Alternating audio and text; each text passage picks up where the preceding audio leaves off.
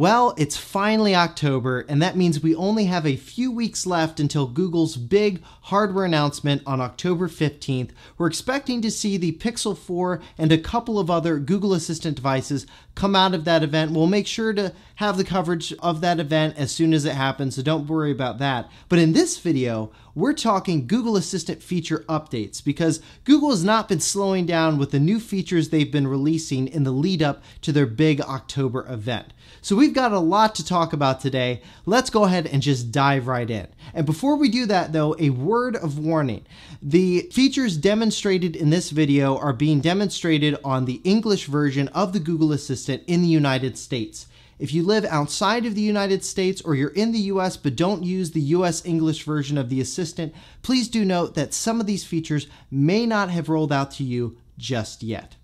All right, with that word of warning out of the way, let's dive into the first feature, and that is assignable reminders, which allows you to assign reminders to specific members of your household. Here's an example of how it works. All I have to do is tell Google to remind my roommate to take out the trash at 8 p.m. After you tell Google the reminder, it will confirm that reminder was sent, and my roommate will get a notification that I've assigned a reminder to him. They will also get another nudge notification at 8 p.m. to take out the trash. When my roommate marks that task completed on his phone, I'll also get a notification that the task has been completed.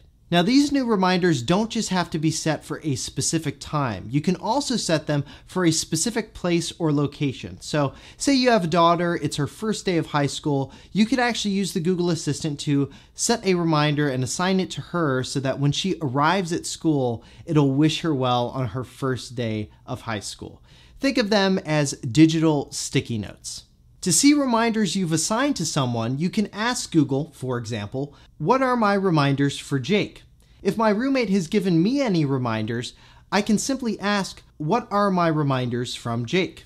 All right, to send a reminder to someone, you need to make sure that they are either a member of your household. You can do this in the Google Home app. You also uh, need to make sure that they've been voice matched to Google Assistant devices within your home, and you need to make sure that they are also in your Google contacts as well. If you want to assign reminders to kids under 13, you can give them access to the Google Assistant under the Family Link tool on Google's site, and you also have the ability to block kids of reminding you of things, so you won't get a bajillion reminders to get your kids more V-Bucks for Fortnite. Next up, let's talk messaging. Now, the Google Assistant has been able to read text messages on Android phones for a while now, but it's been somewhat limited to be able to do that with third party platforms. Well, Google is now rolling out an option to read messages from non Google apps like WhatsApp, Slack, and Telegram. You can also dictate and type out replies for both of these services through the Google Assistant. Next up, it's been announced that Google has started to roll out more assistant voices to other languages. Specifically, new voices are available for Dutch, French, German, Italian, Japanese, Korean, and Norwegian. New English voices are also being launched in India and the UK. Google has noted that they are starting to randomize the voice that you hear on the device by default when you first become a Google Assistant device customer. Though, of course, you have full control over which Google voice you hear on your devices. To see the voices available for your assistant on your mobile phone, go to your Google Assistant settings, tap Assistant, then go to Assistant Voice.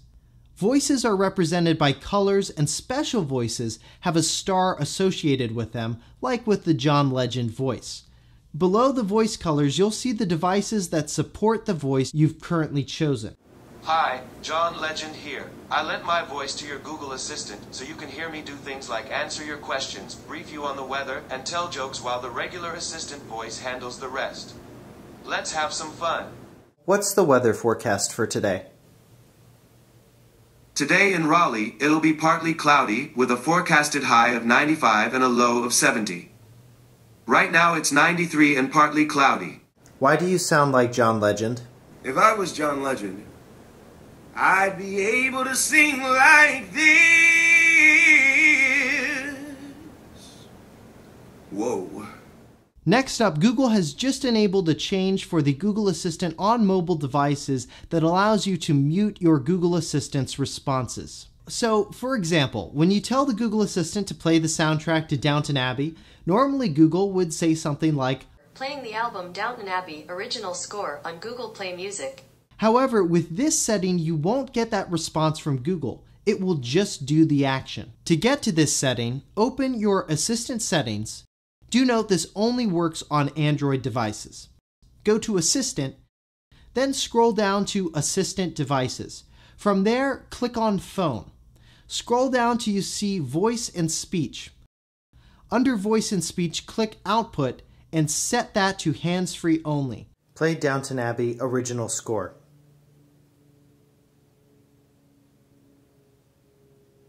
Next up, an update for owners of the Google Assistant Smart Clock. Google and Lenovo have announced that you can now have Google Photos appear on the clock face, just like they do on Google Assistant Smart Displays for photo frame mode.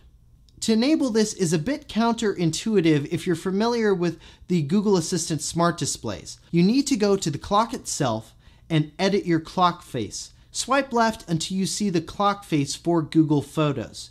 You can then go through the menu that appears to choose which Google Photos albums you would like to show on the display. The last little feature I want to mention is a, a, tiny one. I can't for the life of me remember if the Google Home app has always done this and I've just been silly and not realized it or what, but when you have music playing on a speaker group or want to easily see which speakers in your home are playing media like music or podcasts, when you go into the Home app, the speakers playing the media will indicate they are by little colored bars moving, which I thought was just a very nice touch. Now, as I said before, Google is holding an event on October 15th where they are scheduled to announce the Pixel 4, even though we know most things about that phone, and a couple of other Google Assistant devices we don't know that much about. There is a rumored new Google Wi Fi and maybe another Google Assistant smart speaker. We'll see, but make sure you're subscribed to the channel and you've turned on all notifications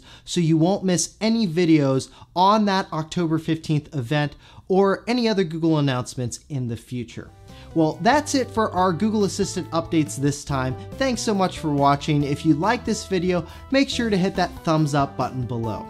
Well, for six months later, I'm Josh Teder. Thanks for watching.